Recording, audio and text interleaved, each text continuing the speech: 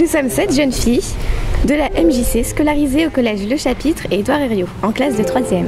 À l'occasion du 69e anniversaire de l'armistice de la Seconde Guerre mondiale, Madame Chambardelot, ancienne résistante déportée, est venue à Chenauve pour témoigner. Nous l'avons rencontrée.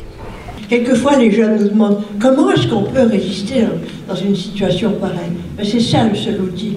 Demeurer des êtres pensants pour, euh, au fond, contrer la volonté des, nazis de faire de nous des choses, résister malgré tout jusque dans les camps, ça c'est une preuve pour l'humanité. Je pense qu'à Ravensbrück, euh, on a voulu se grouper, quelques femmes, pour euh, rester un, amis entre nous. Par exemple, quelque chose, quand il y avait l'anniversaire, on essayait de, de fabriquer un petit objet. Dieu que c'était exceptionnel, mais fêter la camarade, c'était l'anniversaire, réciter les poèmes, on avait même monté une petite chorale, montrer que malgré les nazis, on n'était pas si complètement déshumanisé.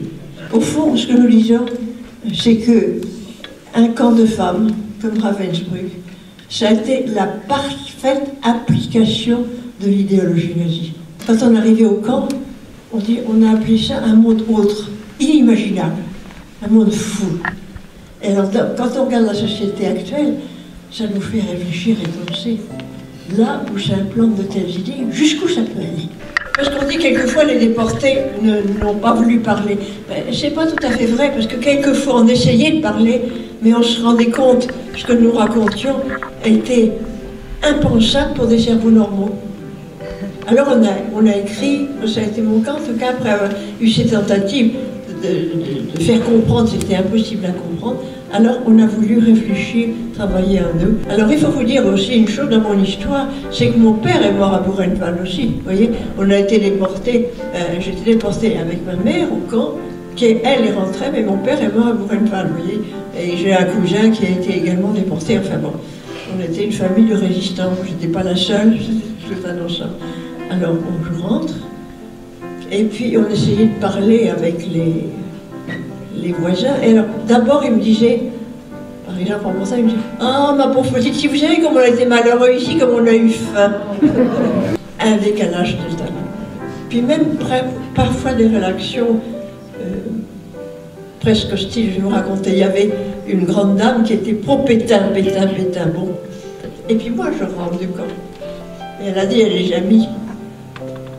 Vraiment, je ne peux pas recevoir dans ma famille une rescapée de Ravensbrück cette jeune fille, qu'est-ce qu'elle ramène comme maladie?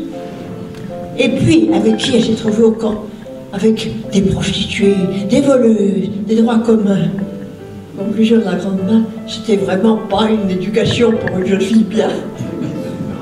Alors, je souris maintenant, mais vous voyez, moi j'ai appris énormément dans le camp, contrairement à ça.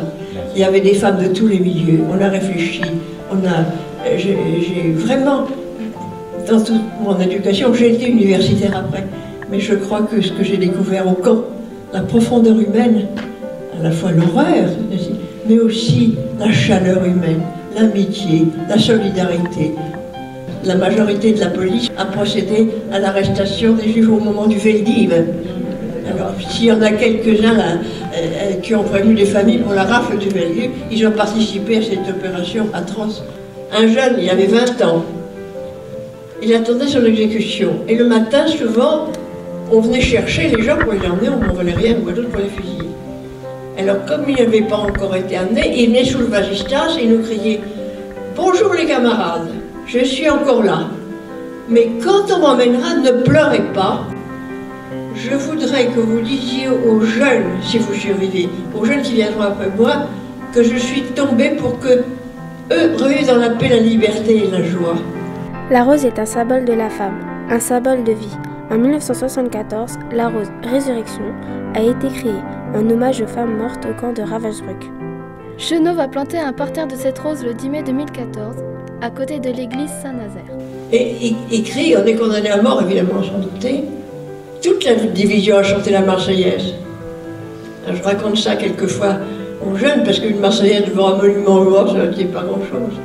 Vous voyez, cette division qui chante, des gens qui allaient mourir qui chantent la Marseillaise, ça, ça a un sens formidable que je garde toujours en moi. Vous savez qu'à Ravensbrück, quand arrivaient les premières années, une femme enceinte, si euh, elle, était début de grossesse, elle était avortée de force.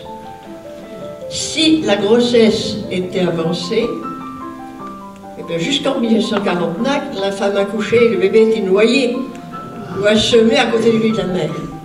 Et c'est le pire que j'ai connu, la souffrance des mères. Je ne sais pas si vous imaginez ce spectacle d'une déportée avec un, nouveau-né au sein. Alors nous, on s'est battus pour essayer de survivre. Après 1944, les nazis gardent les bébés. Il n'y a que deux biberons pour tout le camp. Il faut trouver des tétines. Et là, quand j'ai dit les femmes, je rends encore une fois leur esprit d'invention. Une de nos camarades qui était infirmière a attendu que le médecin-chef soit sorti. Elle est rentrée dans ce bureau, elle a volé sa paire de gants de caoutchouc. Et dans les dix doigts, on attendait dix tétines.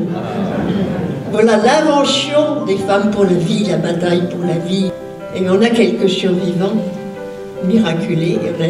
Sur les 21 Français, il y a trois survivants. Et là, je vais vous citer le cas de Jean-Claude, qui habite à Clermont-Ferrand, des trois survivants. Parce que c'est le plus âgé des trois. Les enfants mouraient presque tous en vers trois mois, ils ne passaient pas ce cap-là. Lui, il a survécu. Je voudrais simplement dire que des crimes contre l'humanité, hélas, il s'en est reproduit. Les camps de concentration nazis représentent pour moi un peu l'extrémisation du mal. Voilà, un, peuple cultivé, etc., qui arrive à plonger dans la pire horreur des crimes contre l'humanité.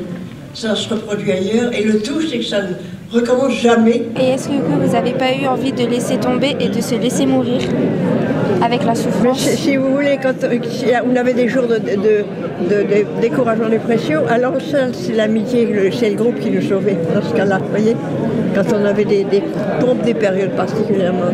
Le groupe et l'amitié, c'est très très important, c'est ce qui nous tenait.